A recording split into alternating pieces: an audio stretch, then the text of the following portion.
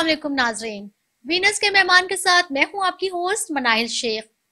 आज एक दफ़ा फिर आपको वेलकम करते हैं। आज हमारे प्रोग्राम में जो बात होगी, जो टॉपिक होगा, जैसा कि आप सब लोग जानते हैं, मुल्क किस हालात से गुजर रहा है और हमारे मुल्क की इकॉनमी किस तरह से नीचे जा रही है और डॉलर डॉलर वैसे तो कहीं नज़र ही नहीं आ रहा मिल ही नहीं रहा है।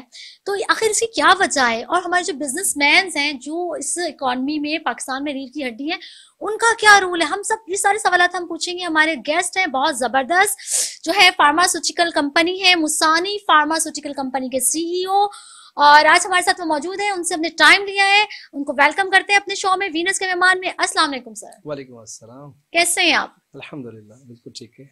सर पाकिस्तान के हालात आपके सामने अब देखें अब माशाल्लाह नए हमारे आर्मी चीफ आए हैं और अल्लाह करे के हालात बेहतरी की तरफ़ जाएँ क्योंकि मुल्की इस्तेकाम के लिए डॉलर जो ऊपर जा रहे हैं ना उसका नीचे आना बहुत ज़रूरी है। रुपए की कदर का होना ज़रूरी है। डॉलर का कैसे हम कमाएँगे? जरे मुबादला हम कैसे वो करेंगे? किस तरह से सब कुछ होगा? ये सब हम आपसे पूछेंगे।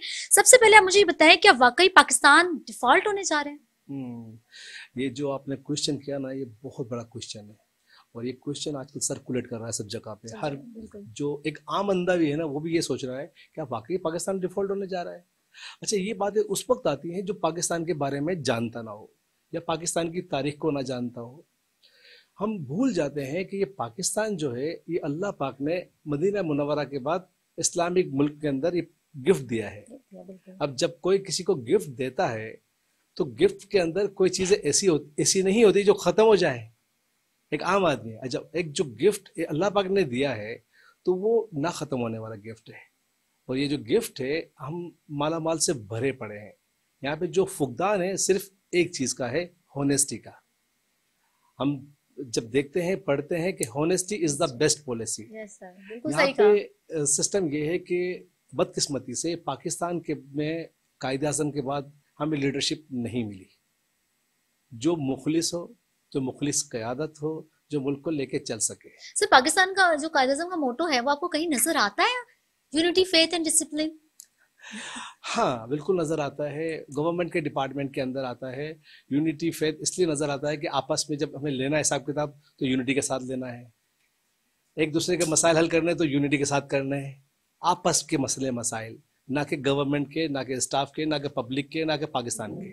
अच्छा। अवाम के मसले नहीं उनके आपस के जो मामला थे उस पर वो उनकी यूनिटी देखने से काबिल। मुजानी साहब बहुत ज़बरदस्त बात की यानी कि आपस में पॉलिटिशियन के अंदर यूनिटी फेथ और डिसिप्लिन बहुत है लेकिन उसको इम्प्लीमेंट हमारी आवाम के लिए नहीं किया जा बिल्कुल मैं आपको अपनी पहले बात कंप्लीट करना चाहूँगा। मैं जैसे बता रहे थे डिफ़ॉल्ट की बात है। हम्म। पाकिस्तान वसाइल से माला माल है। बिल्कुल। जिस तरीके से हम देखते हैं सुनते हुए आए सऊदी अरब माला माल है इसी तरीके से पाकिस्तान के अंदर वसाइल की बे अल्लाह पाक ने इनामत दिए सही। अगर एक छोटी सी एक बात आपने आजकल सुना होगा रिकॉर्डिक रिकॉर्डिक है सोने के जो पहाड़ा निकले हैं हमारे पास।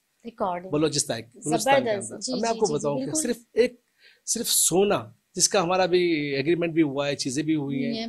और जो लास्ट टाइम हमारे ऊपर जो एक पेनल्टी लगी थी तकरीबन छह सौ अरब रुपए की तो वो भी खत्म हुई चीज़ें भी खत्म हुई। और अब मैं आपको बताऊँ कि इस वक्त जो हमारे पास रिकॉर्डिंग के जो जखायर हैं वो सात सौ अरब डॉलर के हैं। सिर्फ़ और अभी हमारे ऊपर जो कर्जा है वो कितना है?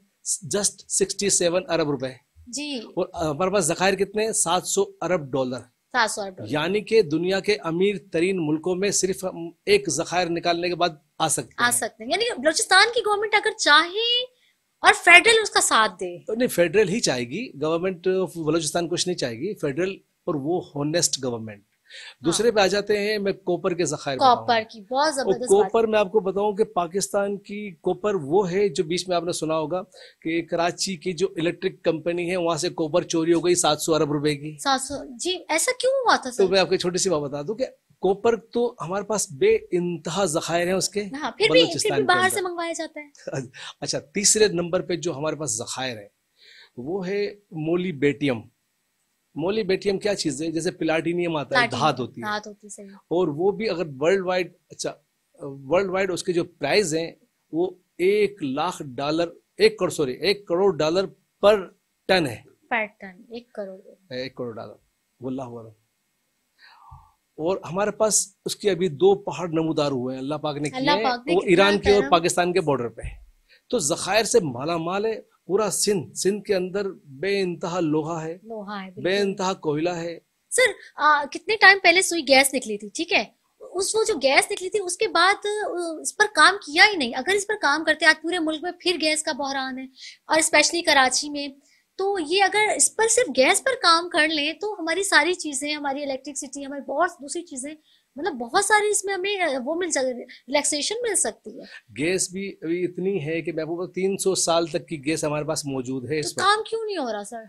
अ, मैंने कहा पहला अल्फाज मैंने कहा कि honesty is the best policy मुखलिस लोग लेकर आ जाएँ सब चीज़ें आपको मिल जाएँगी। हम सूर्य सूर्य कहफ जुम्मे के दिन लोग पढ़ते हैं। उसमें एक वाकया है हज़रत खिजर सलाम और हज़रत मूसा सलाम का। वो साथ जा रहे थे तो एक दीवार गिर रही थी। हज़रत खिजर सलाम ने वो दीवार सीधी कर दी। सीधी कर दी। तो पता लगा कि वो जो दीवार थी वो थी दो यतीम बच्चों की जिसके नीचे खजाना दफन था। तो हमारा खजाना भी जो रिकॉर्डिक का है जो मोलिबेटियम का है या जो को कोपर का है या जो हमारे पास और भी जखायर हैं जो पेट्रोल के हमारे पास बे इंतहा जखायर हैं ये निकलेंगे जब जब उनके असली हकदार आएँगे। आएँगे। सही कह रहे हैं। और सर एक और चीज़ है। ईरान के साथ मुआहदा भी तो हुआ था? कुछ कमिटमेंट था। नहीं, पेट्रोल के हवाले से बात कर बिल्कुल सही। उन्होंने कहा था कि आप पेट्रोल नहीं निकालेंगे। अच्छा क्योंकि हम हम तो नीचे हैं और अगर हम निकालते हैं तो सारा पेट्रोल हमारा बिल्कुल आपने बजा फरमाया कि जो हमारा जो ईरान का एरिया है वो हाइट पे है। हाइट पर और पाकिस्तान नीचे है। नीचे जब हाइट पे पेट्रोल निकल रहा है तो हमारे पास क्यों नहीं होगा? क्यों नहीं होगा? वो बल्कि सारा पेट्रोल ही हमारी तरफ़ अच्छा आ जाएगा। यहाँ पे क्या होता है कि आप जब इस्लामी मुल्क सिर्फ़ आप नहीं यमन को देख लें इराक को देख लें इवन के ईरान को ही देख लें या जितने भी मुस्लिम ममालिक हैं अब उनको ऊपर देख लें इनके ऊपर तसल्लुत किसका है? हम जेर ताबे किसके हैं? जब किसके? जब हम अमेरिका पूरी दुनिया को पता है किसके नहीं नहीं मुँह से कहलवाना हाँ तो सबको पता है ये कोई चीज़ छुपाने वाली नहीं है। अच्छा हम कहते हैं जी हुजूरी करते हैं। अच्छा उनको पता है कि ये कौम अगर अपने पाँव पे खड़ी हो गई तो ये किसी को भी आड़े हाथों लेगी। हर किसी को आड़े हाथों लेगी वो फिर सीधे तरीके से चलेंगे नहीं। वो इसलिए हमें वो ताबे रखना चाहते हैं। तो यहाँ पे क्या करते हैं वो चंद लोगों को चुनते हैं और उनके ऊपर इनामत की बारिश करते हैं वो उनके ताबे हो जाते हैं। ताबे हो जाते हैं बिल्कुल सही आपने कहा। और अगर सही मायनों में बलूचिस्तान को हमारी गवर्नमेंट देख लेना तो ये कर्जे तो ऐसे कर्जे क्या? हम लोगों को कर्जे देंगे। अच्छा सिर्फ़ बलूचिस्तान नहीं है हमारे पास अफराधी कुवत इंतहाई। बहुत बहुत ज़बरदस्त है। मैं आपको बताऊँ कि पाकिस्तान में वो टैलेंट है कि अमेरिका की जितनी बड़ी बड़ी मार्केटिंग जो एजेंसीज हैं वो हायर करती हैं। बड़े बड़े टॉप क्लास के जो नंबर वन डॉक्टर्स हैं पाकिस्तान के हैं। अमेरिका में हो चाहे यूरोप में हो आप देखेंगे पाकिस्तान की क्रीम इंजीनियरिंग की हो सारे टैलेंट हमारे पास इतना भरपूर है जिसकी कोई इंतहा नहीं। फिर हमारे पास मैं आपको बताऊँ पाकिस्तान दुनिया के उन चंद गिने चुने बेहतरीन अल्लाह पाक के नवाजे हुए मुल्कों में से है कि जहाँ पे चारों मौसम है। हाँ, चारों मौसम है। चारों मौसम के साथ साथ गर्म पानी के समंदर है बागात है थर है। रेगिस्तान है। किस चीज़ की कमी है? किसी पहाड़ात किसी है। चीज़ की कमी नहीं है। सही नहीं है तो ईमानदारी नहीं है, नहीं है। नहीं है तो क्या कहते हैं हमारे पास डिसिप्लिन नहीं है। नहीं है तो यूनिटी नहीं है। और नहीं है तो हमारे पास एक सच्चाई के साथ और ग्रास रूट पे काम करने वाली गवर्नमेंट नहीं है। बेशक। ये चीज़। अच्छा नहीं ऐसा नहीं होता कि बिल्कुल ही काम करने वाले नहीं होते। वरना तो एक मुल्क हमारा खंडर बन जाए अगर काम करने वाले ना चल रहा है काम करने वाले तो होते हैं। अभी देखें बारिश हुई हम अप्रिशिएट करेंगे जितने भी रोड वोड टूटे टूटे फूटे थे का काफ़ी हद तक कंप्लीट हो गए। चीज़ें होती हैं ऐसा नहीं होता। हाँ लेकिन क्या होता है इलेक्शन से पहले हो जाती है। करीब करीब होती है। जनरल इलेक्शन होने वाले हैं। अब हाँ, कह रही लोकल तो सारे काम हो जाएँगे। सारे काम हो रहे हैं। और सारी फंडिंग आ जाएगी सारे पैसे आ जाएँगे। आप कह रहे हो मुल्क मुल्क हमारा डिफॉल्टर इस सेंस में नहीं हो सकता हमारे पास डॉलर की भरमार है। किसकी? डॉलर की भर मार है। दौलत की। Dollar dollar. डॉलर्स आप कह रहे हैं पाकिस्तान में डॉलर नहीं है? नहीं सर मैं आपको बताऊँ नज़र नहीं आ रहा गायब हो गया है। नहीं नहीं गायब बैंक गायब हो गया है। हाँ छुपा दिया गया गायब हो गया ये कह सकते हैं गायब हो गया या गायब कर दिया गया है। कर दिया गया। अच्छा इसमें सिर्फ़ गवर्नमेंट का रोल नहीं है। इसमें गवर्नमेंट के कुछ ऐसे मामला हैं। अभी दुनिया का जो सिनेरियो चल रहा है एक्सपोर्ट की मार्केटिंग चल रही है। सही। अच्छा ओपन मार्केट के अंदर डॉलर आपको 250 में नहीं मिलता। और बैंक कहती है कि दो सौ चौबीस सौ रुपए का रेट है। बिल्कुल यही तो प्रॉब्लम है अच्छा उससे नुकसान कहाँ हो रहा है? अब वो जो एक्सपोर्टर है हम्म, एक्सपोर्ट अपनी कोई चीज़ एक्सपोर्ट करता है तो उसको डॉलर आने चाहिए। बिल्कुल आने चाहिए। तो वो क्या करता है? अपने डॉलर को बाहर ही रोक देता है। कि मैं बैंक से मंगाऊँगा तो मुझे 224 मिलेंगे अगर मैं हुंडी से मंगाऊँगा तो मुझे 250 255 रुपए मिलेंगे। तो मैं पागल तो नहीं हूँ कि मैं बैंक के थ्रू मंगाऊं। तो ये गवर्नमेंट की और ये हमारे जो मोहसिन आए हुए हैं ये हमारे जो वज़ीर ख़जाना साहब आए हुए हैं उन्होंने उनका बड़ी मेहरबानी है। उन्होंने पाकिस्तान को और पाकिस्तानियों को इतना मोटिवेट किया है कि वो डॉलर को छुपा के अपने पास संभाल के रखें। वो सारी चीज़ें पाकिस्तान को डिफ़ॉल्ट की तरफ़ ले जाए। और पाकिस्तान डिफ़ॉल्ट मैं आपको बताऊँ कि मैंने जैसे शुरू स्टार्टिंग में कहा कि पाकिस्तान मदीना मुनवरा के बाद दूसरी रियासत है जो इस्लाम के नाम पर आई है। तो जब आप सल्लल्लाहु अलैहि वसल्लम के अंदर दौर के अंदर जब मदीना मुनवरा में जब माल गनीमत आता था तो वो क्या करते थे? माल गनीमत को साफ़ कर देते थे। तो हम्म। उनकी भी इकनॉमी सिफर ही रखते थे। हम्म। तो इकनॉमी हम तवक्कल पे करते थे। तो हम वो कौम है जो हम तवक्कल पे चलते हैं। इसका मतलब ये आप कह रहे हैं कि हम तवक्कल पर चलते हैं हम प्लानिंग्स नहीं करते हम हाँ। काम नहीं करते हम हम अपने फ्यूचर्स को नहीं उसकी नहीं देखते उस पर नज़र सानी नहीं करते इसका तो मुझे अच्छा एक और चीज़ मैं आपसे कहने वाली हूँ कि डॉलर जो है डॉलर को पाकिस्तान में लाने के क्या क्या जराए हो सकते हैं और जो पोर्ट पर हमारा सामान खड़ा हुआ है जो खराब हो रहा है जो नहीं कस्टम वाले उसको रिलीज़ कर रहे क्या ये सब पाकिस्तान के डिफॉल्टर होने की ज़िम्मेदारी मैं आपसे एक बात कहूँगा अभी जो आपने कहा ना कि कस्टम के ऊपर माल पड़ा हुआ है हाँ कुछ कुछ स्टॉक पड़ा हुआ है और ऐसा नहीं कि रिलीज़ नहीं हो रहा। अगर रिलीज़ नहीं हो रहा होता तो बहुत हर्डल्स आ रही हैं। तो हर्डल्स तो मैं आपको बताऊँ कि हमारे जो इम्पोर्टर है और इस, इसकी वजह से हमारी ताजी बरादरी बहुत मुझे मायूस नज़र आ रही है और मुझे लग रहा है वो इन्वेस्टमेंट नहीं कर रही। सिस्टम ये है कि अभी जैसे आपने कहा ना कि हमारी जो ताजिर बिरादरी है ताजिर बिरादरी में वो मायूस नज़र आ रहे हैं जो दो नंबर तीन नंबर चार नंबर वो चीज़ें वो भी कर रहे थे मिक्स हाँ। लोग हैं। ऐसा नहीं है कि अच्छे लोग नहीं है। अभी गवर्नमेंट की पॉलिसी आई है कि उन्होंने कहा है और हाई कोर्ट ने भी कहा है और सुप्रीम कोर्ट ने भी कहा है कि फार्मास्यूटिकल इंडस्ट्री है जो रॉ मटेरियल है ऐसी चीज़ें वो कस्टम नहीं रोक सकता। तो अच्छा हम भी समझते हैं कि हम चाहते हैं कि अभी हमारा मुल्क जो डिफ़ॉल्ट की तरफ़ है। इस वजह से फिर आप तो कस्टम की फेवर में जाएँगे क्योंकि फार्मास्यूटिकल को तो नहीं रोक रहा लेकिन दूसरे और ताजिर हजरात हैं उनकी काफ़ी सारी चीज़ें हैं जो कस्टम पर पड़ी हैं जो खराब हो रही हैं उनकी उनकी तरफ़ से आप क्या कहना वो गलत पॉलिसियाँ हैं गलत पॉलिसियाँ ऐसी हैं कि यहाँ पे कस्टम वालों की भी अपनी मिली भगत है बिल्कुल। चीज़ें हैं। अब वो सिस्टम तो है सिस्टम तो हमारा पूरा कोलेप्स हो चुका है पूरा खराब हो चुका है सिस्टम वो करना नहीं चाह रहे चीज़ों को और खराब करना चाह रहे हैं। अब सिस्टम जब तक उनको फ़ायदा सिस्टम क्या था कि जो हमारी गवर्नमेंट थी हमारी जो गवर्नमेंट है इस वक्त गवर्नमेंट का नाम कहीं पे भी नहीं है। कि कोई गुड गवर्नेंस हो या कुछ हो कोई भी चीज़ पूछने वाला नहीं बैलेंस नहीं चेक एंड बैलेंस तो उस वक्त होता कि कोई गवर्नमेंट गवर्नमेंट होती है। गवर्नमेंट है ही नहीं। काम हो ही नहीं रहा है किसी भी डिपार्टमेंट के अंदर आप चले जाए हम्म। तो आपके काम नहीं होते। आप बस सही कह रहे हैं बिल्कुल हाँ, वो बस कायदे आज़म को दिखाना पड़ता है शो करना पड़ता है तो ये तो ये हाल हमारे पाकिस्तान का अल्लाह करे कि हमारा जो सिस्टम है ये ऊपर से ठीक हो। नीचे नीचे तो हम कुछ भी कर लें बेचारे ऑनेस्ट भी हो तो नहीं हो सकता। ये मैं आपको बात, बात को सेकंड करूँगा ये आपने अच्छा किया है। अच्छी बात कही कि सिस्टम ऊपर हमेशा सिस्टम ऊपर से ही ठीक होता है। हम्म। जब कानून बनता है ना और उस पर इम्प्लीमेंट नहीं होता तो ये प्रॉब्लम्स आती है। हमारा एक आम आदमी जब सऊदी अरब में जाता है वो सीधा कैसे हो जाता है? यूके में जाता है यूरोप में जाता है यहाँ के बदमाशों को भी भेज दो आप। वहाँ बिल्कुल सीधे हो जाते हैं। वहाँ बेईमानी नहीं करते। वो पान खाने वाले यहाँ पे सारी ज़िंदगी पान खाता हो हर वक्त। हम्म। वहाँ जाके पान नहीं खा सकता। वहाँ पे सीधे रहते हैं। वो क्यों सीधे रहते हैं? वहाँ पे लॉ एंड ऑर्डर है। वो कानून है तो उसका इम्प्लीमेंट है। और कानून कानून जो है ना सर वो कानून में जस्टिस है वाकई वाला। जस्टिस है एक वो कानून नहीं है कि बस बंद किया और इम्प्लीमेंट नहीं है और कानून तो गरीबों के लिए कुछ अमीरों के लिए मिडिल क्लास के लिए कुछ।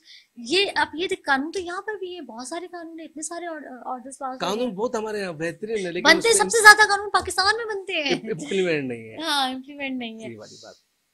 तो अक्सर ये जो है अब आपने बता दिया कि गवर्नमेंट ये क्या पाकिस्तान डिफ़ॉल्ट होने जा रहा है यानी इस पर बहुत तफसील से आपने बताया।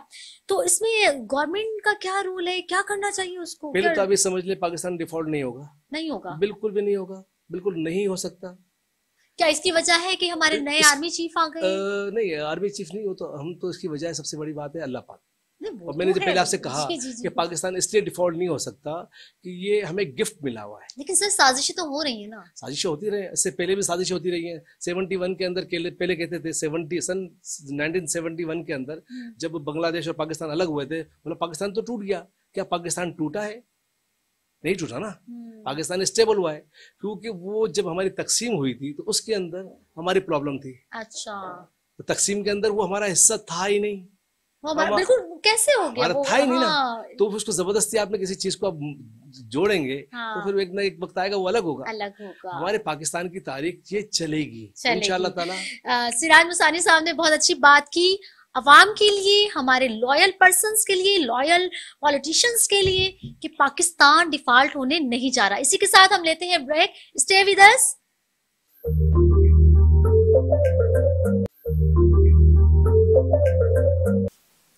welcome back नाजरीन। हमारे साथ मौजूद हैं मुल्क की रीढ़ की हड्डी फार्मास्यूटिकल कंपनी के सीईओ सिराज मुसानी साहब। और बहुत ज़बरदस्त बात हो रही है, बहुत अच्छी पेशन गोई की है उन्होंने कि पाकिस्तान डिफ़ॉल्ट होने नहीं जा रहा। बहुत से चैनल्स पर सर्कुलर कर रहे हैं, ये प्रोग्राम्स चल रहे हैं, ये सब हो रहा है, लेकिन ऐसा नहीं है होगा। अच्छा वेलकम बैक सर आप मुझे बताइएगा कि सर ये सब चीज़ें चल रही हैं बहुत सारी चीज़ें चैनल्स पर घूम रही हैं लोग बेचारे डर रहे हैं बाहर जो फॉरेन फॉरनर्स हैं हमारे वो नहीं पैसा लगा रहे कि डिफ़ॉल्ट है या नहीं है इसमें सर गवर्नमेंट का क्या रोल है गवर्नमेंट का रोल क्या है गवर्नमेंट का जो सबसे बड़ा रोल है वो ये कि राइट पर्सन को पहले सबसे पहले मैं आपको बता दूँ कि जब हम एक कंपनी चलाते हैं हम्म। तो कंपनी के अंदर जो आपके डिपार्टमेंट होते हैं वो आप क्या करते हैं कि हर डिपार्टमेंट के अंदर उसका एलिजिबल पर्सन को वहाँ बिठाते हैं। ताकि उस डिपार्टमेंट को वो सही तरीके से चला सके। चला सके बिल्कुल। तो गवर्नमेंट का सबसे पहला रोल तो ये है कि आप ऐसे बंदे को उस जगह पे बिठाएँ। अब मैं इंतहाई अफसोस के साथ कहना चाहता हूँ कि हमारा जो तालीम का निज़ाम है जो उसके और हमारे जो हेल्थ का निज़ाम है। हेल्थ का निज़ाम। अच्छा जो हेल्थ मिनिस्टर है हमें अफसोस के साथ कहना पड़ रहा है कि वो इंटर पास है। इंटर और सर जो हमारी एजुकेशन के जो मिनिस्टर हैं आप उन पर भी तो थोड़ी बात करें तो मैं तो हेल्थ से रिलेटेड हूँ मैं हेल्थ की ज़्यादा बात करूँ जो मैं देखता हूँ। तो वहाँ पे जो हमारी हेल्थ कम्युनिटी है तो तमाम डॉक्टर से भरी हुई है। और उनको लीड कर रहा है एक इंटरपास इंटर पास बंदा उनको लीड कर रहा है। तो ये हमारे कैसा फील होता है सर? बात है। सर कैसा छोटे रैंक का बंदा? जो बड़े रैंक बेचारा हो वो छोटे रैंक के बंदे के सामने वो सलूट मार रहा हो तो कैसा लग रहा है? वो तो अलग बात है। आप समझ रहे हैं क्या कहना चाह रहे एलिजिबल है तो वो कर सकता है। एलिजिबल हम्म। नहीं है तो ये नाजायज है। नाजायज है अब उनका हेल्थ से कोई रिलेटेड नहीं है कोई हेल्थ का कोई इनका एक्सपीरियंस हाँ, नहीं, नहीं है कोई चीज़ें नहीं उनको मिनिस्टर बना दिया। अब हेल्थ के जो इश्यूज़ आते हैं वो क्या डील करेंगे? आप अपने डिपार्टमेंट के अंदर जहाँ जहाँ जो जो जो रिलायबल पर्सन है या एलिजिबल पर्सन है, उसको हर जगह पे पाउंड करें। आप खुद ब खुद आपका मुल्क उठना शुरू हो जाएगा। और दूसरी बात यह है कि जब आप एक आम से छोटी सी दुकान भी चलाते हो या आप एक उधार लेने जाते हो, जब आपकी रेप्यूटेशन खराब हो जाती है, लेकिन आपका भाई, आपका दोस्त आपको कोई लेने जाता है, उसकी रेप्यूटेशन अच्छी होती है तो क्या उसको उधार नहीं मिलता? बिल्कुल मिलता है। बाज दुकानदार तो बोलते हैं मैं इनको जितना चाहिए आपको उधार देता हूँ। तो आप ऐसे लोगों को लाएँ अगर आपने उधार लेना भी है तो। अव्वल तो आपको ज़रूरत होनी नहीं चाहिए उधार लेने की। मतलब आप, आपके पास आहिस्ता आईएमएफ की तरफ़ जा रहे हैं? हाँ ना तो यही वाली बात है। ने तो हमें बिल्कुल ना बिल्कुल ऐसे जंजीरों से बाँध के रख दिया है। सिस्टम ये है जब आप कुदरत से जंग करोगे आईएमएफ आपको जो कर्जे देता है हम्म। वो किस ब्याह पे देता है? विदाउट इंटरेस्ट देता है कि इंटरेस्ट के साथ देता है? के साथ तो इंटरेस्ट का मीन है सूद के साथ। सूद के साथ। और जब आप सूद पे काम करेंगे सूद पे लेन देन करेंगे तो क्या आप अल्लाह पाक से जंग करके फ़ायदे में रहेंगे? उसके नबी से जंग करके फ़ायदे में रहेंगे? ये तो अल्लाह और उसके रसूल से खुली जंग की बात है। तो सर ये तो हमारी गवर्नमेंट को सोचना चाहिए कि इस्लाम जो पाकिस्तान है जो इस्लाम के नाम पर हासिल किया गया तो वहाँ उसमें इस्लाम की नज़रिए की बुनियादी नज़रिए के हिसाब से कोई चीज़ ऐसी नहीं नज़र आ रही है। सबसे पहले आईएमएफ को ले लें, दूसरी चीज़ों को ले लें तो सर ये तो गवर्नमेंट को सोचना चाहिए, या फिर कोई उनका मावन खसूसी या मुशीर कुछ ऐसे नहीं है उनके पास? मैंने कहा, मावन भी है सब कुछ है, लेकिन जब ताबे आप इंटरनेशनल यहूदी लॉबी के आप ताबे हो जाओगे तो सारी चीज़ें उन्हीं की ही चलेंगी, सारे रूल्स एंड रेगुलेशन उनके चलेंगे, आपके नहीं चलते फिर। सर ये बीच में जो पैनाडॉल के लिए हुआ था हम्म। बहुत के गायब हो गई थी नज़र नहीं आ रही थी। एक गरीब इंसान बेचारा देखे जो झोपड़पट्टी में रहता है जो रोज का दिहाड़ीदार है वो बीमार हो जाता है उसकी इस्तात नहीं है कि वो हॉस्पिटल्स तक भी जा सके। गवर्नमेंट के हॉस्पिटल्स पर दवाइयाँ जो है ना अपने जानने वालों को ही मिलती हैं। तो एक पैनाडॉल वाहिद गोली है जिससे वो बेचारे घर में कोई भी बीमारी हो बेचारा पैनाडॉल लेके खा लेता है। सर वो पैनाडॉल तक गायब कर दी गई और उसकी जो रेट है वो इतने आसमानों पर थे। ये ये अब अब मैं एक जो ग्रास रूट लेवल के हवाले से मैं बात कर रही हूँ। ये क्या ये क्या था? हाँ, सबसे पहले मैं आपको बता क्यों गायब हो गई हाँ मैं आपको बताता हूँ सबसे पहले। सबसे पहले सिर्फ़ पेनाडोल की बात इसमें गवर्नमेंट का क्या रोल सिर्फ़ पेनाडोल की बात नहीं है। जी। तमाम चीज़ों की बात है। टमाटर क्या गायब नहीं हुआ था? आलू क्या गायब नहीं हुए थे? उसके बगैर प्याज क्या गायब नहीं हुई तो बीस रुपए वाली प्याज आज भी हम एक सौ अस्सी रुपए किलो ले रहे हैं। ढाई सौ सर। फिर आप खुद बताएँ। तो ये हर डिपार्टमेंट में। अच्छा पेनाडोल शार्ट क्यों हुई? क्यों हुई? ये हमारी एजुकेशन की कमी है। मार्केट में तकरीबन मैं जानता हूँ 200 से ज़्यादा कंपनियाँ हैं जो पेनाडोल बनाती है। सर मैं खुद लेने गई थी और मिसाल के तौर पर मैं आपको देखो पेनाडोल है क्या? पेनाडोल एक ब्रांड है। पेरासिटामोल टेबलेट सबको पता है पेरासिटामोल क्या है। और पेरासिटामोल का ही एक ब्रांड है वो। तो 200 कंपनियाँ पेरासिटामोल बना रही है और मार्केट में ओपन है। तो आवाम को नहीं पता ना कि पेनाडोल का साठ पैरासिटामोल का साठ और दूसरी जो दूसरी मार्केट्स की जो है इसी टाइप की उनके साठ सेम है और ये सेम ही कंडीशन में यूज़ की जाती है ही। तो सर ये अवेयरनेस नहीं तो जो अवेयरनेस नहीं है तो जो स्टोर पे जाता है तो उसको कहे कि पेनाडोल का मुझे ऑल्टरनेट दे दे। तो मेडिकल स्टोर वाला पेनाडोल की जगह पे आपको सेप्ट्रान तो नहीं देगा पेनाडोल ही देगा या ब्रूफिन तो नहीं दे देगा। और दूसरी पेरासिटामोल ही देगा ना तो लोगों को समझना चाहिए पेरासिटामोल पेरासिटामोल है और 200 कंपनियाँ बना रही है। एक ने पेरासिटामोल का नाम पेनाडोल रखा हुआ है एक ने पेरासिटामोल का नाम कालपोल रखा हुआ है। आप किसी और नाम की पेरासिटामोल ले रहे सेम सेम रिज़ल्ट है सेम चीज़ें हैं। और ये तो एक ब्रांडिंग थी और इसको प्रोमोट किया गया था मैं आपको बता दूँ हाँ। पेरासिटामोल को ये जो कंट्रोवर्सी पैदा की गई ये जाति दुश्मनी पे पैदा की गई चीज़ों पे अच्छा। पैदा की गई। और ये तो इतना बड़ा इशू था नहीं जो इसको मीडिया की इतनी हाइप दे दी गई। ये भी पेनाडोल आज से नहीं है तीस सालों से देख रहे हैं इसको। तो ये तो आप खुद समझ सकते हैं कि ये बदमाशी है कहीं ना कहीं। बदमाशी तो है ना। और, ये फार्मास्यूटिकल्स के अंदर पेनाडोल का कोई इशू नहीं सर इस इस इसके इस बिरादरी जो है आपकी फार्मास्यूटिकल कंपनीज़ की जो बहुत दूसरी है इसमें भी कहीं कहीं कुछ कुछ ब्लैक शीप्स तो है ना। देखो मैं आपको बताऊँ ब्लैक शिप है हर जगह पे होती है। हर देखो मैं आपकी जो आपकी जो मीडिया की इंडस्ट्री है क्या उसमें नहीं है? उसमें भी है कौन सी इंडस्ट्री है जहाँ पे बदमाशियाँ ना हो? लेकिन परसेंटेज काउंट करती है हमारी जो फार्मा इंडस्ट्री है तकरीबन सत्तर हज़ार मेडिकल स्टोर से ज़्यादा है। सत्तर हज़ार मेडिकल स्टोर अब सत्तर हज़ार से काउंट करेंगे अगर बीस पच्चीस मेडिकल स्टोर वाले बदमाश हैं तो वो कोई परसेंटेज नहीं आती। हम्म। एक percent point five percent point one percent point two percent दो नंबर ब्लैक शिप्स होती हैं। तो वो तो हर चीज़ के अंदर आपको पता है कि आती है। तो कोई इतना बड़ा इशू नहीं है। सही से। सर ये सब चीज़ें तो चल रही हैं। इतना ये मतलब आप पाकिस्तान का बता दिया आपने गवर्नमेंट का पाकिस्तान की गवर्नमेंट का क्या रोल है? ये बताएँ मुल्क डिपार्ट होने जा रहा है या नहीं जा रहा या जो कुछ भी चल रहा है पाकिस्तान की गवर्नमेंट आ रही है इसमें बिज़नेस कम्युनिटी का क्या रोल है? बिज़नेस हाँ, कम्युनिटी को आप लोगों का जो रीढ़ की हड्डी है पाकिस्तान की मीशत की। मुझे इंतहाई अफसोस के साथ कहना पड़ रहा है कि पाकिस्तान में बिजनेसमैन बहुत कम है। सब हैं दुकानदार हैं। मैं इस सेंस में इस सेंस में कह रहा हूँ कि हमारे जो बिजनेसमैन है कितने बिजनेसमैन ऐसे होंगे जो सर्वे करने के बाद अपना बिज़नेस स्टार्ट करते होंगे। ये वो बिजनेसमैन है हमारे यहाँ। हाँ हैं। चंद परसेंटेज है। चार परसेंट पाँच परसेंट बिजनेसमैन वो हैं जो रियल में बिज़नेस करते हैं। बाकी सब दुकानदार है। मौका परस्त लोग हैं। और मौका परस्ती कब जिसको जो मिलता है वो फ़ायदा उठाने की कोशिश में करता है। हाँ, चाहे हमारा मोची ले ले या बड़े से बड़ा बैंकर ले ले। तो सारे डिपार्टमेंट ऐसे करते हैं कि अपने प्रॉफिट के लिए वो देखते हैं कि बस खाल खेच दो, इसके चार्जेस लगा दो, इसके चार्जेस लगा दो। एक छोटा सब्ज़ी वाला होता है उसका जहाँ चलता है, वो चलाता है। पाकिस्तान, वो वाहिद मुल्क है, यहाँ पे हर वो बंदा शरीफ है जिसको मौका नहीं मिलता। कितनी ज़बरदस्त बात की मुसानी साहब ने कि हर वो बंदा शरीफ है जिसको मौका नहीं मिलता पाकिस्तान के अंदर। बहुत ये फार्मास्यूटिकल कंपनीज़ जो हैं, बहुत सारे ब्रांड्स हैं, इसके अंदर अब मैं नाम नहीं लूँगी किसी भी ब्रांड का, लेकिन इसके अंदर खुदारा प्लीज़ आप लोग जब मुतहिद हो जाए और प्लीज़ अवाम पर आप लोग भी रहम खाएँ, क्योंकि बहुत सारी चीज़ें हैं। किसी को हार्ट अटैक हो रहा है, किसी को कुछ हो रहा है कि स्टेंट कितने का है, सबको पता है सर जो एजुकेटेड पर्सन है और यहाँ कितने का दिया जा रहा है। और ब्रांड्स पहले तो सिर्फ़ कपड़ों पे ब्रांड होता था मेकअप पे होता था। अब तो ये दवाइयाँ जान बचाने वाली जो मेडिसिन है उसमें इतने ब्रांड्स लगाकर और उसको इतना हाईलाइट कर दिया अवाम की पहुँच से दूर कर दिया बेचारे गरीब अवाम। इस पर आप क्या क्या कहेंगे? क्या सर इसमें बेचारी पब्लिक कहाँ जाए? अच्छा यहाँ पे मैं आपसे कहूँगा इसमें रोल आता है गवर्नमेंट का। गवर्नमेंट सर आप आप लोग अपनी जान बचा नहीं नहीं नहीं जान नहीं बचा रहा। मैं बताऊँ वहाँ पे भी आ रहा हूँ सबसे बड़ा रोल है गवर्नमेंट का। गवर्नमेंट का रोल क्या है? गवर्नमेंट का रोल है एजुकेशन को। हमारा एजुकेशन का लेक ऑफ़ एजुकेशन बहुत ज़्यादा है। और जब एजुकेशन है तो उसके अंदर स्टैंडर्ड है। एक अमीर का बच्चा है तो उसका स्टैंडर्ड अलग है। गरीब का बच्चा है उसका स्टैंडर्ड अलग है। मदरसों का है उसका स्टैंडर्ड अलग है। फिर जो हमारे जो गवर्नमेंट के स्कूल्स हैं उनका स्टैंडर्ड अलग है। और जब इतने स्टैंडर्ड पे आप एजुकेशन देंगे तो डेफिनेटली कहीं पे बादशाह निकलेंगे, कहीं पे चोर निकलेंगे, कहीं छोटे लेवल के लोग निकलेंगे। तो जब वो मिली जुली मार्केट आती है तो वहाँ सारे मफाद परस बनते हैं, चीज़ें बन रही होती है।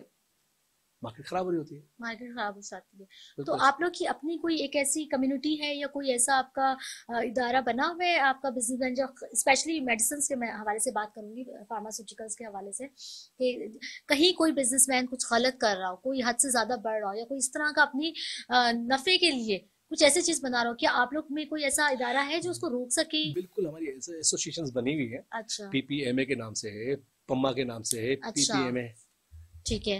तो फिर वो वो क्या किरदार अदा कर रही वो अपना रोल अदा करती हैं वो देखती हैं कि ब्लैक शिप्स जो भी हैं उसको हम्म। निशानदेही उसकी करती हैं और किसी को ऐसा नहीं होता। मैंने आपसे पहले अर्ज़ किया कि हमारे पास ऐसा कोई नहीं है कि हम ब्लैक मार्केटिंग करें या चीज़ें करें। हम स्मूथ चल रहे होते हैं। बिज़नेस अपने फार्मास्यूटिकल इंडस्ट्री का सबसे कम इश्यूज़ देखे होंगे। सबसे कम आपने इसके अंदर आपने सब वो देखा होगा इसमें ब्लैक मार्केटिंग होती है चीज़ें होती हैं। क्यों नहीं होती? कुछ लोग होते हैं। जो मार्केट के लोग हैं कंपनियाँ नहीं करती कंपनियाँ स्मूथ चलने वाली होती हैं। दुनिया भर के अंदर जो फार्मास्यूटिकल कंपनी मैं आपको बता दूँ कि पाकिस्तान के अंदर सिर्फ़ दो इंडस्ट्रियाँ हैं जो काम कर रही हैं। एक फार्मास्यूटिकल इंडस्ट्री है और एक है कंस्ट्रक्शन रियल एस्टेट अच्छा रियल एस्टेट में इन्वेस्टमेंट ये यकीन करें पाकिस्तान की जो मीशत की जो रीढ़ की हड्डी है उसको तबाह करने वाली है रियल एस्टेट लोग जब रियल एस्टेट में पाकिस्तान की मीशत को तबाह करने वाली रियल एस्टेट है। बेशक वो क्यों? लोग अपनी इन्वेस्टमेंट को डम कर देते हैं। बिज़नेस इन्वेस्टमेंट जो होती है ना वो सर्कुलेट करती है। अच्छा। जहाँ पे आप बिज़नेस को रोक दोगे ना जहाँ पे आप अमाउंट को रोक दोगे मिसाल के तौर पे आप एक घर ले लेते हो पाँच करोड़ रुपए का। पाँच करोड़ रुपए आपने स्टक कर दिए। आप घर में सिर्फ़ रह रहे हो। हम्म। उस घर को आप रेंट पे ले सकते थे। एक लाख रुपए रेंट पे मिल जाता आपको पाँच करोड़ रुपए वाला घर। तो पाँच करोड़ रुपए जो आप बिज़नेस में सर्कुलेट करते हैं तो उससे आप कमाते दस लाख रुपए लेकिन कितने लोगों को रोज़गार मिलता आपके पाँच करोड़ रुपए से? सौ दो सौ खानदानों को रोज़गार मिलता। लेकिन आप क्या करते हो? इन्वेस्टमेंट करते हैं पाँच करोड़ का भी घर ले लिया बाद में सात करोड़ का हो जाएगा। आप वो सोचते हो। अगर आप बिज़नेस में लगाते हैं तो बिज़नेस में सर्कुलेट करता है। तो रियल एस्टेट हमारे लिए हमारी मीशत के लिए इंतहाई खतरनाक तरीन है। पाकिस्तान की मीशत जो है बिल्कुल अभी तबाही के दहाने पर है। आप नहीं सब मतलब आपका तो ख्याल कुछ और ही है कि ऐसा नहीं है। लेकिन इस पर पब्लिक क्या किरदार अदा कर सकती है? किस तरह से मीशत ठीक हो सकती है? एक आम सर एक आम लेवल पर आकर सोचें। आप एक फार्मास्यूटिकल का सीईओ बनकर नहीं एक आम इंसान एक ग्रास रूट लेवल के पर्सन बनकर अगर आप सोचें तो वाकई मीशत बहुत गिर गई है। मैं बिल्कुल आपकी मैं आपको क्या बताऊँ कि आम आदमी की तरह सोचता हूँ चलो मैं। आम आदमी की तरह सोचता हूँ मुझे बताएँ कि एक मार्केट के अंदर जब हमारी मीशत गिरी हुई है तो मार्केट में सन्नाटे होने चाहिए। जो होटल्स हैं खाली होने चाहिए आपके पास। जो जुम्मा बाज़ार इतवार बाज़ार सब खाली होने चाहिए। जितनी बड़ी बड़ी मॉल्स बने हुए हैं मॉल्स मॉल्स बनते जा रहे हैं कराची के अंदर 400 से ज़्यादा मॉल्स हैं। सब खाली होने चाहिए। आप जाएँ आपको पाँव रखने की जगह नहीं मिलती। पैसा कहाँ से आ रहा है? चीज़ें कहाँ से आ रही हैं? लोग एफोर्डेबल है। गवर्नमेंट हमारी गरीब है हमारी पब्लिक अमीर है। अच्छा गवर्नमेंट गरीब है पब्लिक अमीर है हाँ। फिर पब्लिक रोना भी तो रो पब्लिक है ना। तो पब्लिक पैसा निकालना चाहती है लेकिन आप उसको माहौल नहीं दे रहे हो। गवर्नमेंट हम्म, एनवायरमेंट नहीं एनवायरमेंट नहीं मिल रहा डर रही है। उसको डर रहे उसको आप कभी आप देते हो सेल टैक्स का डर कभी देते हो इनकम टैक्स का डर कभी आप देते हो लॉ एंड ऑर्डर की प्रॉब्लम सिचुएशन हमारे पास है। आपकी जो है फार्मास्यूटिकल्स की कंपनी के अंदर गवर्नमेंट ने तो सब्सिडीज दी हुई है ना आप लोगों को? सब्सिडीज तो दी हुई है फार्मास्यूटिकल इंडस्ट्री को गवर्नमेंट का गवर्नमेंट का ये एकदम बहुत अच्छा है सिर्फ़ सेल टैक्स के अंदर हमारे को इन्होंने छूट दी हुई है। अच्छा। सत्रह परसेंट की जो सेल टैक्स है सब पे हाँ। लगता है जनरल प्रोडक्ट पे और फार्मास्यूटिकल पे। एग्जेम्प्ट है। और मैं कहता हूँ कि इसमें गवर्नमेंट से मैं एक रिक्वेस्ट भी करूँगा कि फार्मास्यूटिकल से रिलेटेड जितने भी डिपार्टमेंट है चाहे वो हर्बल है होम्योपैथिक है न्यूट्रास्यूटिकल्स हैं या एलोपैथिक है एलोपैथिक तो ऑलरेडी है फिर जिनके सर्जिकल्स हैं सबके ऊपर छूट होनी चाहिए ताकि गरीब आवाम को जो इन चीज़ों की ज़रूरत है फार्मास्यूटिकल से रिलेटेड तमाम चीज़ों की वो उनको इजीली सस्ती मिल सके। सस्ती मिल सके। आपकी हम लोग आपकी न्यूट्रास्यूटिकल्स पे आ जाते हैं। आप ये बताएँ कि अभी आपने कुछ मार्केट में कुछ ऐसी लॉन्च की जो पब्लिक के लिए इजीली परचेज करना आसान हो जो बिल्कुल कॉमन हमारी बीमारी है खांसी नजला जुकाम और बुखार। कुछ ऐसा आपने लॉन्च किया? और वो बहुत ही कॉमन प्राइस में उनको मिल जाए। हाँ, बेशक ऐसी बेशुमार चीज़ें हैं जो नोमिनी प्राइस पे। पाकिस्तान के ऊपर अल्लाह पाक का बहुत करम है और पाकिस्तानी अवाम ख़ास तौर पे मियारी दवा दुनिया भर से आप कंपैरिजन कर लें। अब इवन कि आप इंडिया से भी बहुत सी दवाओं से कंपैरिजन कर लें।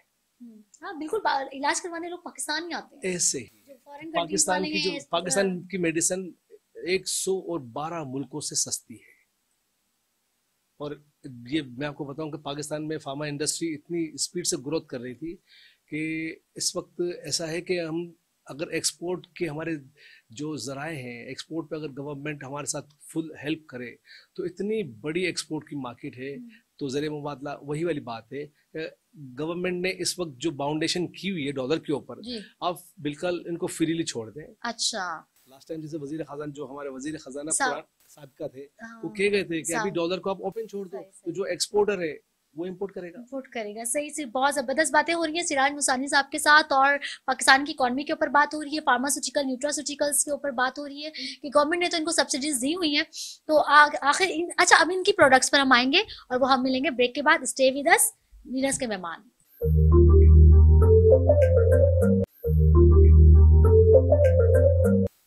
वेलकम बैक नाजरीन। वीनस के मेहमान के साथ मिनाय शेख एक दफ़ा फिर हाजिर है आपके साथ और हमारे साथ मौजूद है मुसानी ग्रुप ऑफ़ कंपनीज़ के सीईओ सिराज मुसानी साहब और बहुत ज़बरदस्त इन्होंने बातें की, मुल्क के हवाले से इकॉनमी के हवाले से डॉलर के हवाले से, मीशत के हवाले से और अब हम जो बातें करने जा रहे हैं तो स्पेशली लेडीज़ और चैनल्स के पास आ जाए और ताकि सुने।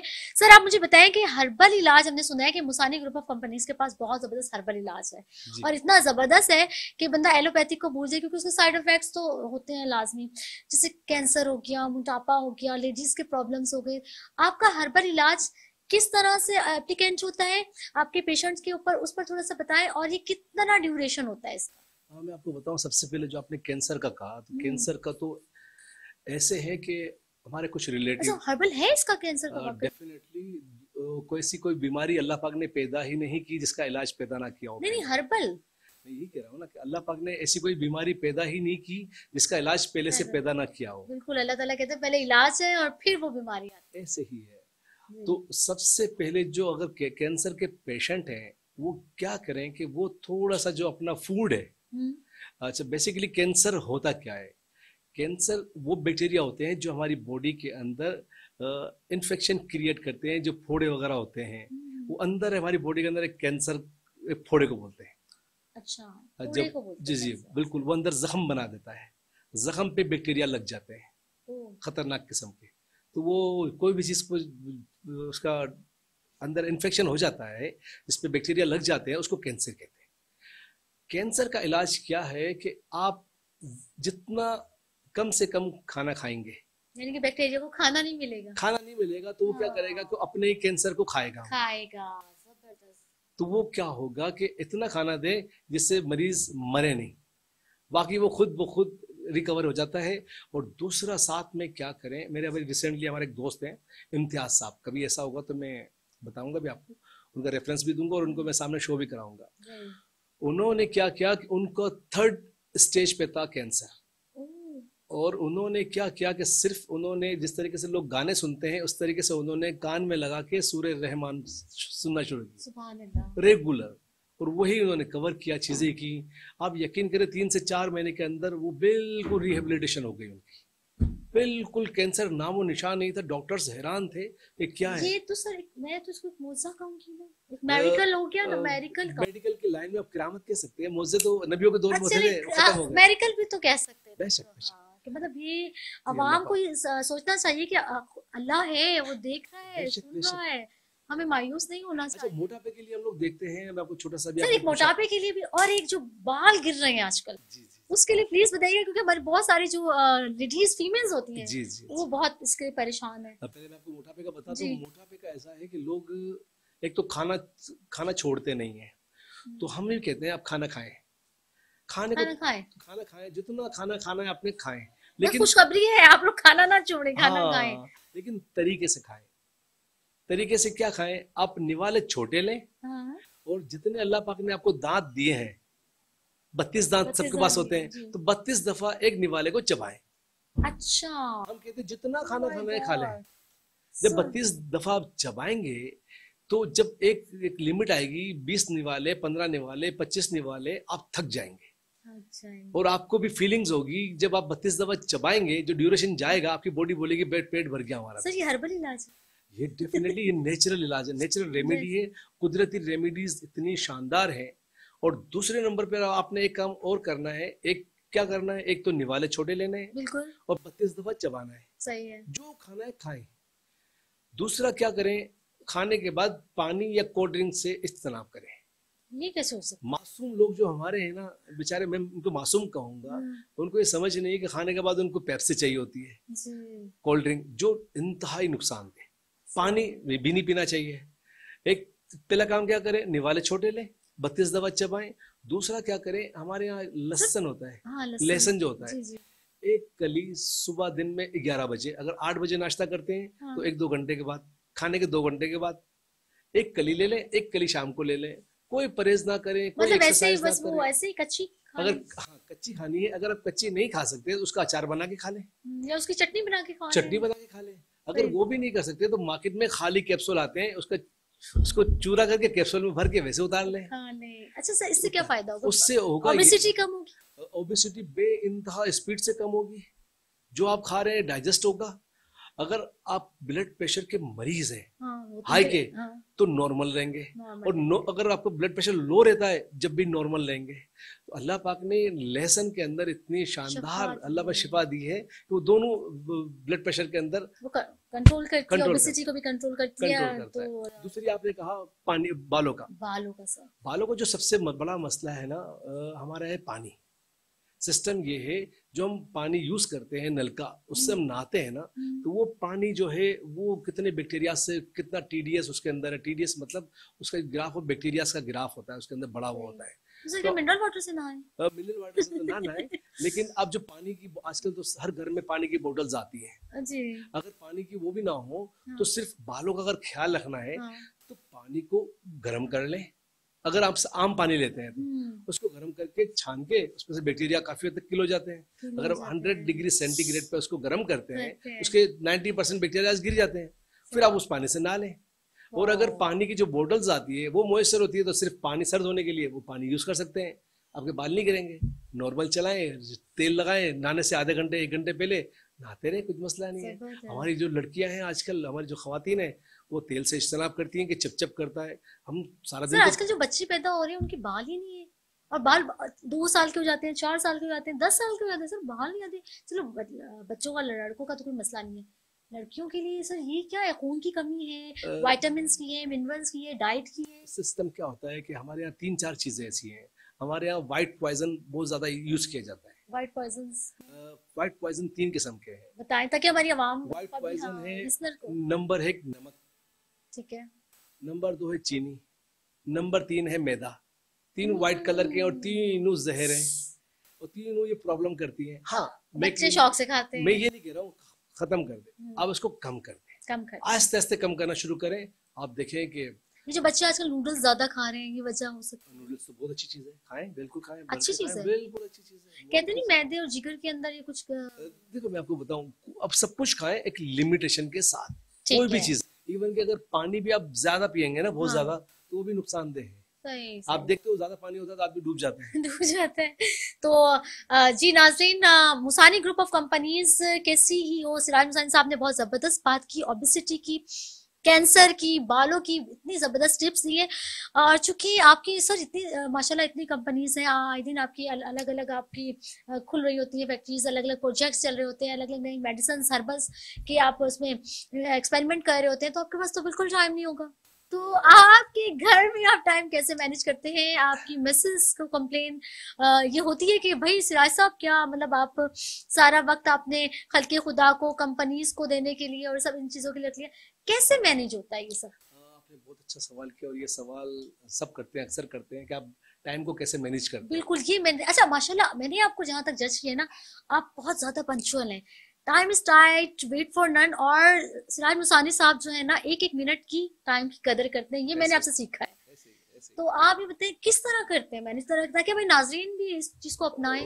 मैं कहता हूँ कि जैसे मैंने पहले अर्ज़ किया ना कि हर डिपार्टमेंट के अंदर हमारे भी बहुत सारे डिपार्टमेंट्स होते हैं। तो हर डिपार्टमेंट में हम एलिजिबल बंदा हायर करते हैं।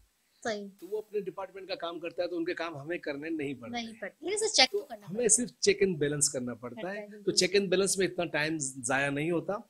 मैं अपनी फैमिली को इंतहाई भरपूर टाइम देता हूँ और मेरा जो एंड ऑफ़ टाइम है वो असर के नमाज़ के फ़ौरन बाद है। अच्छा। असर की नमाज़ के फ़ौरन बाद में घर की तरफ़ मूव करता हूँ। वो जो डिस्टेंस होता है मेरा आधे पौने घंटे का घर पहुँचने का इसके बाद में घर का हो जाता हूँ। फिर ना मैं फ़ोन कभी कोई सीरियस फ़ोन होता है कोई इमरजेंसी होती है तो अटेंड करता हूँ अदरवाइज़ मैं फ़ोन भी यूज़ नहीं करता। ज़बरदस्त यानी कि आपने अपनी लाइफ को इतना बैलेंस बनाया हुआ है जैसे बैलेंस डाइट होती है ना नाजरीन इसी तरह से बैलेंस करना चाहिए अपनी लाइफ में टाइम को क्योंकि टाइम एक ऐसी चीज़ है आजकल के दौर में कि हमें उसको बिल्कुल वेस्ट नहीं करना चाहिए। और सिराज मसानी साहब आप ये बताएँ कि आपकी जो कंपनीज़ हैं और कोई ऐसी नई हर्बल प्रोडक्ट जो आप बना रहे हैं या जो लॉन्च करने वाले हैं वो भी थोड़ा हमारे साथ इस प्लेटफॉर्म के थ्रू जरा हमको बताओ अभी इंशाल्लाह ताला हम लोग कॉस्मेटिक्स ग्रुप लॉन्च करने वाले हैं। हाँ ज़बरदस्त। हर्बल में? उस स्किन वो हम प्लीज़ हमें तो बता क्योंकि हम लोग को जैसे कि हम कैमरे के सामने बहुत जल्दी आपको पता लग जाएगा मीडिया पे भी पता लगेगा इंशाल्लाह हमने फोकस किया है पहले मेंस को उसके बाद जो बेचारे बाइकिया बाइकों पे चल रहे होते सर स्किन बहुत ड्राई होती है इसका क्या ऐसा ही है। उनको ज़्यादा हम लोग कहा कि लड़कियाँ तो खुद संवरती रहती हैं कुछ लड़कों को भी सवार हैं हम लोग उस पे काम करेंगे इंशाल्लाह। उस पे काम करेंगे। हम इंशाल्लाह जो आप जब ये लॉन्च हो जाएगा हम आपको दोबारा हम जहमत देंगे आपको कि यहाँ पर आप आए और हमारे नाजिन के सामने बताएँ। और हम लोग अभी चलते हैं ब्रेक की जानब। और नाजिन बहुत सारे सवाल और मजीद करने हैं हमने सिराज साहब से, क्योंकि पाकिस्तान की इकॉनमी की रीढ़ की हड्डी जो है, वो है हमारे बिजनेसमैन, हमारे ताजिर बरदरी जो है मुसानी ग्रुप ऑफ़ कंपनीज़ के सीईओ अभी हम लोग ब्रेक की तरफ़ चलते हैं। ब्रेक का इशारा किया जा रहा है। मुझे स्टे विद अस यूनस के मेहमान।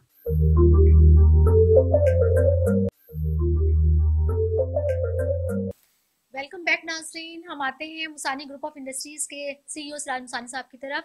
सराज मुसानी साहब, आपने माशाल्लाह इतनी कंपनीज़ हैं, इतना ह्यूज एम्पायर है आपका, और आप इसको रन कर रहे हैं, सबको टाइम दे रहे हैं फैमिली को टाइम दे रहे हैं और इतने अच्छी अच्छी टिप्स भी बता रहे हैं, हमारे चैनल के थ्रू भी आपने बताया। ये बताइए कि आप अपने ऊपर इसको अप्लाई कैसे करते हैं? या करते भी हैं या नहीं करते? और आप क्या खुद भी हर्बलिस्ट हैं? कुछ अपने बारे में बताएँ। मैं आपको बताऊँ कि सिंपल से कहूँगा, मैं तो स्टूडेंट हूँ। डेली मैं सीखने को सीखने के मराइल में हूँ और सीखता रहूँगा और जब तक एंड आएगा जब तक हम सीखते रहेंगे। वो तो बात है सर। और दूसरी बात रही कि हर्बल हम यूज़ करते हैं तो मेरी पूरी ज़िंदगी पूरी लाइफ हर्बल पे और न्यूट्रोसिटिकल पे और न्यूट्रिशन पे भरी हुई है। मेरी जब सुबह होती है तो वो होती है अब कालो चन काले चनों से होती है। शहद के पानी से होती ये आपकी माशाल्लाह सेहत का राज है। ये सिंपल सी बात है। ये हो गई फिर जब हमारे यहाँ कोई सिर्फ़ सिंपल बॉइल चने काले ब्लैक जी जी। वो रात के टाइम पे भिगो देते हैं सुबह इक्कीस चने खा लेते हैं उसको। बॉइल करके? नहीं पानी में भिगो देते हैं सादे पानी में। वो कच्चे खा लेते हैं। सुबह कच्चे खा लेते हैं। इक्कीस चने? इक्कीस चने। वो खा लेते हैं इसके बाद फिर शहद गर्म पानी लेते हैं शहद के अंदर। डेली लेते हैं? डेली एक गिलास लेते हैं उसमें वो कर लेते हैं फिर फिर थोड़ी सी एक्सरसाइज कर लेते हैं। अच्छा ब्रेकफास्ट में क्या लेते हैं? ब्रेकफास्ट में मैं नॉर्मल ब्रेकफास्ट लेता हूँ। जैसे कि हम पाकिस्तानी जो लेते हैं कभी ये पराठे भी लेते हैं कभी स्लाइस भी लेते हैं बंद भी लेते हैं मक्खन भी साथ होता है कभी शहद भी होता है कभी गुड़ भी होता है बेशुमार चीज़ें ऐसी कॉमन जो जिस तरीके से जिस हमारे जो हाँ मैं सुबह नाश्ते में कभी सालन नहीं लेता। कभी कभी होता है? तो ले लेते हैं हलवा पूरी वगैरह होती है तो खा लेते हैं हम लोग भी। अच्छा, तो उस पर लंच में आप क्या क्या लंच में ऐसा होता है सच के हमारे दोस्त हैं जो मेरे पार्टनर भी हैं वो क्या करते हैं कि वो स्पेशल डिशेज डिशेस बनाते हैं खुद कुक भी है। अच्छा। बेहतरीन शेफ है उनके। हाँ वो हर्बल हर्बल चीज़ों की बनाते होंगे वो ऐसे ही कभी लोबिया पे एक्सपेरिमेंट करते हैं तो कभी करेलो पे एक्सपेरिमेंट करते हैं तो कभी गोश्त के साथ वो प्लान करते रहते हैं तो वो बड़ी अच्छी डिशेस और हेल्दी डिशेस बनाते हैं तो दोपहर में हम लोग वो एंजॉय करते हैं। अच्छा हम लोग ये समझते हैं कि जो डॉक्टर्स होते हैं या फार्मास्यूटिकल्स वाले होते हैं या न्यूट्रोस्यूटिकल्स वाले होते हैं वो ज़्यादातर पालक खाते होंगे या लेडी फिंगर्स खाते होंगे इस तरह की चीज़ें या फिर चने खाते होंगे। वो तो बीमारों की बात है जो बीमार होते हैं वही खा रहे होते हैं ये चीज़ें तो, अच्छा। तो बिल्कुल लगातार हम बिल्कुल फुल एंजॉय करते हैं खाने पीने में। कभी फिर हम फालूदे भी खाते हैं आइसक्रीम भी खाते हैं ऐसा नहीं होता कि बिल्कुल हम लोग बाउंड हो गए हैं। हाँ बिल्कुल अपने आप को मैंने सिलेक्ट बिल्कुल फुल फ्रेश रखा हुआ है आम पब्लिक की तरह। एक्सरसाइज मेरी होती है सिर्फ़ तीन से पाँच मिनट की। वो प्लैंक वगैरह होती है या जो पुशअप होती है बस सिंपल है। बिल्कुल। या फिर थोड़ी सी वॉकिंग कर ली तो कर ली। अच्छा वैसे तो आपका माशाल्लाह इतना यूज़ पायर है तो उसमें आपको टाइम नहीं मिलता होगा लेकिन इसके अलावा आपकी क्या कुछ और एक्स्ट्रा एक्टिविटी है हॉबी है कुछ ऐसी?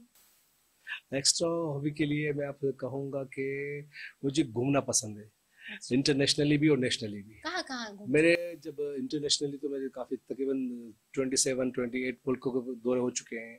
इवन कि आप फार ईस्ट हो गया मिडिल ईस्ट हो गया एशिया के काफ़ी हद तक जापान वगैरह हो गया या ईरान वगैरह हो गया या चाइना वगैरह हो गया काफ़ी हद तक जाना हुआ है। फिर लोकल के अंदर तकरीबन आपको पता है ऑलमोस्ट पूरा पाकिस्तान ही घुमा हुआ है। तो रेगुलर विज़िट अच्छा, भी होते हैं। जब आप विज़िट करने जाते हैं तो आपकी नज़र तो हमेशा बागात पर खेतों पर हाँ, जड़ी बूटियों पर ही होती होगी कि ऐसी जगह चूज़ करते होंगे? बिल्कुल ऐसे ही होता है।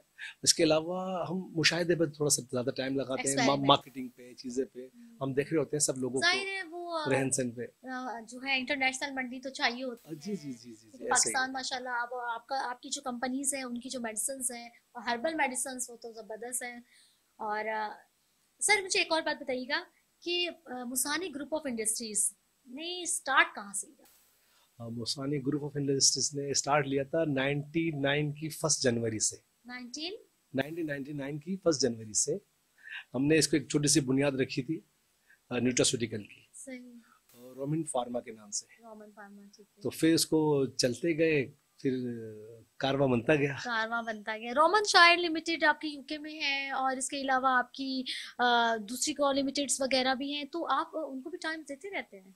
सर तो मैंने कहा हम एलिजिबल पर्सन को उसकी राइट जगह पे बिठा देते हैं, देते हैं। फिर हम उनसे रिपोर्ट ले रिपोर्टिंग ले रहे होते हैं बस। सही सही। सिंपल दैट तो हमारे साथ जी नाजरीन हमारे साथ मौजूद थे सिराज मुसानी साहब जो कि मुसानी ग्रुप ऑफ़ कंपनी जो है लिमिटेड उनके सीईओ हैं। हम उनके बेहद मशहूर हैं कि वो यहाँ पर आए उन्होंने हमें टाइम दिया। बहुत शुक्रिया सर आपका। और इन्होंने बहुत ज़बरदस्त बातें की पाकिस्तान की इकॉनमी के बारे में बात की क्योंकि ये जो लोग होते हैं ये पाकिस्तान की मीशत की रीढ़ की हड्डी होते हैं।